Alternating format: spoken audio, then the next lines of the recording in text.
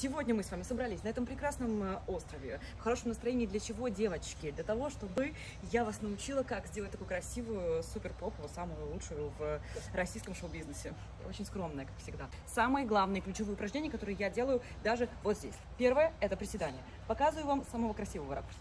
Становимся, девочки, ножки туда, коленки не выходят э, за носочки. И начинаем приседать. Погнали. Раз, два, а, три. Так, приседаем. Обычно мы это делаем где-то 15 раз, три подхода. И в конце, да, еще одно ключевое упражнение. Я его люблю. Называется он ягодичный мостик. Раз, э, два. Как говорится, в здоровом теле здоровый дух.